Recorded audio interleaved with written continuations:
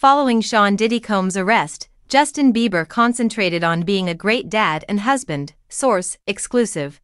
Justin Bieber prioritizes his family. A source exclusively tells people that the 30 year old artist is keeping things focused on his wife, Hailey Bieber, and his newborn boy, Jack Blues, whose birth was revealed last month. In the wake of his buddy and longtime colleague Sean Diddy Combs' arrest, in reference to the 54 year old rapper's arrest on September 16 in the wake of recent sex trafficking and sexual assault cases, the insider tells people he's aware of Diddy's arrest and all the allegations.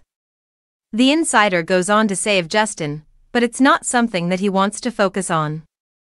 Instead, the Peaches singer has been in a happy bubble since baby Jack was born, according to the source. They also say, he just wants to concentrate on being a great husband and father.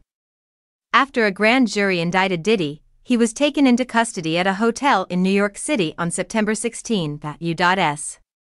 Attorney Damian Williams said in a statement after the arrest that Diddy had been arrested by federal authorities using an indictment that had been sealed at the time.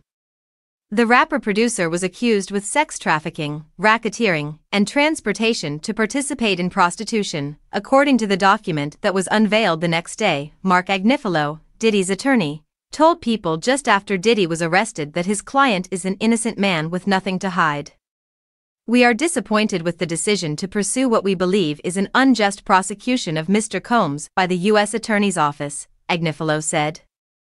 Sean Diddy Combs is a well-known musician, self-made businessman, devoted family guy, and established philanthropist who has dedicated the previous three decades to establishing an empire, loving his kids, and advancing the black community. Although he has flaws, he is not a criminal.